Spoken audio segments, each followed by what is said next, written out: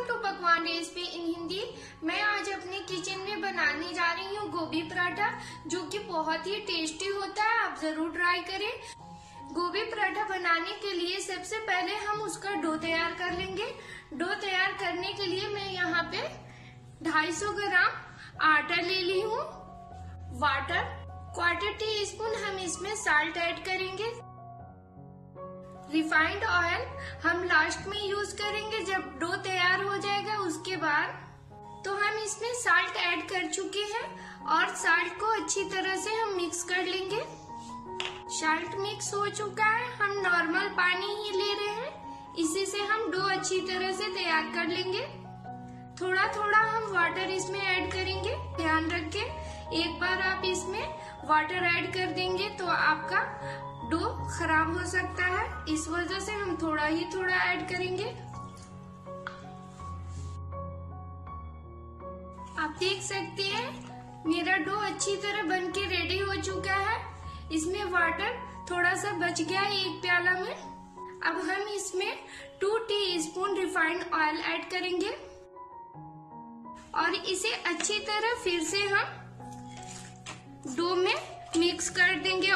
Oil last में add करने से आपका जो भी पराठा आप बनाएँगे, वो बिल्कुल सॉफ्ट बनेगा और टेस्टी होगा। आप इसी तरह डो तैयार करें।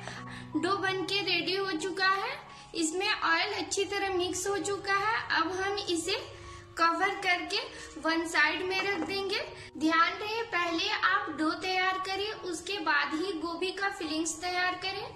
तो हम यहाँ पे गोभी हाफ़ के जी लिए थे। इसका वेस्ट पार्ट मैं निकाल दी हूँ। तो वेस्ट पार्ट निकालने के बाद ये 250 ग्राम रह गया है। इसे कद्दूकस कर ली हूँ। वास में गुनगुने वाटर से की हूँ। ध्यान दे, गुनगुना वाटर से करने से जो भी इसमें गंदगी होता है, वो निकल जाता है और आपका गोभी बिल्कुल फ्रेश हो जाता है। तो आप हल्का गुनगुना वाटर ले। तो मैं फिलिंग्स आपको बनाती हूँ। उसी टाइम में सारे इंग्रेडिएंट्स को आपको बताती जाती हूँ। फिलिंग्स तैयार करेंगे। उसके लिए हम एक पैन लिए हैं। इसके फ्लेम को हम ऑन कर देंगे। ऐड करेंगे refined oil three tablespoon oil को हीट होने देंगे। ऑयल हीट हो चुका है। ऑयल हीट होने के बाद हम इसे तड़का लगाएँगे। पहले हम फ्लेम को लो कर लेंगे ऐड करेंगे cumin seed quarter teaspoon two pinch हींग ऐड करेंगे और इसे अच्छी तरह हम चटकने देंगे। वन पीस इसमें ओनियन ऐड करूँगी, बारीक कट किया हुआ। इसे हल्का लाइट ब्राउन होने देंगे। अब इसके फ्लेम को हम हाई कर लेंगे। इसके फ्लेम को हम फिर से लो कर देंगे। लो करने के बाद हम इसमें ग्रीन चिली तीन से चार जो मैं कट की हूँ बारीक उसे ऐड कर दूँगी। इसके बाद हम इसमें ऐड करेंगे धनिया powder quarter teaspoon red chilli powder quarter teaspoon garam masala powder quarter teaspoon इसका लिंक मैं डिस्क्रिप्शन लिस्ट में दे दूँगी। आमचूर powder quarter teaspoon turmeric powder quarter teaspoon इसके बाद हम इसमें ऐड कर देंगे ginger garlic paste. Three tablespoon है ये। इसके बाद हम इसे मिक्स कर देंगे। मिक्स करने के बाद हम इसके फ्लेम को हाई कर लेंगे। हाई करने के बाद हम हाफ़ मिनट के लिए इसे अच्छी तरह से भून लेंगे। हाफ़ मिनट हो चुका है इसे हाई फ्लेम पे भूनते हुए। अब इसमें हम ऐड कर देंगे कद्दूकस किया हुआ गोभी। अच्छी तरह से मिक्स कर लेंगे। गोभी अच्छी तरह मिक्स हो चुका है। अब हम इसमें साल्ट ऐड करेंगे। साल्ट मिक्स करके इसे अच्छी तरह, इसी तरह हम भूनते हुए और स्पैचुला से इस तरह प्रेस करते हुए हम इसे भून लेंगे। जब तक कि इसका पानी खुश्क ना हो जाए। दो से तीन मिनट इसे हाई फ्लेम पे भूनते हुए हो गया है। और ये अच्छी तरह सॉफ्ट भी हो चुका है और इसका पानी खुश्क भी हो गया है।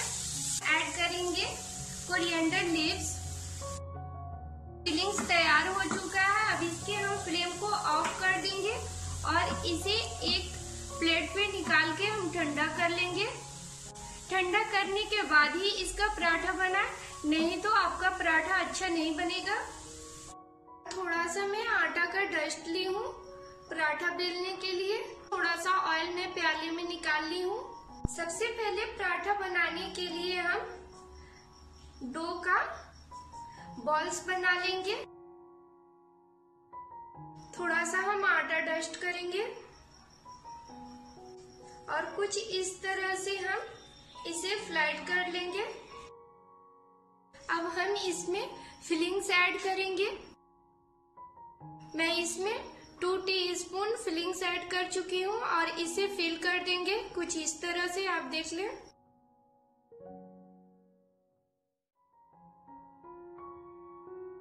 अब इसे मैं डस्ट करके उसके बाद फ्लैट कर लेंगे। फ्लैट करने से पहले हम फ्लेम को ऑन कर देंगे कि तवा हमारा हीट हो जाए। तवा को हीट होने देंगे। थोड़ा हल्के हाथों से आप इसे फ्लैट करें। ये फट सकता है। पराठा अच्छी तरह फ्लैट हो चुका है और तवा भी हीट हो चुका है। अब हम इसे इस पे ऐड कर देंगे। इस पे ऐड करने के बाद हल्का सा जब वन साइड सिक जाए तो हम इसका साइड चेंज कर देंगे। दूसरे साइड भी इसी तरह सीखने देंगे। बीच बीच में हम चेक करते रहे। आप देख सकते हैं इसका वन साइड अच्छी तरह से सीख चुका है। अब ये ऑयल लगाने के लिए तैयार है। अब हम इसमें थोड़ा थोड़ा ऑयल लगाकर हम, आप चाहे तो ज़्यादा भी लगा सकते हैं, लेकिन हम थोड़ा थोड़ा ऑयल लगाकर इसे अच्छी तरह से सेक लेंगे।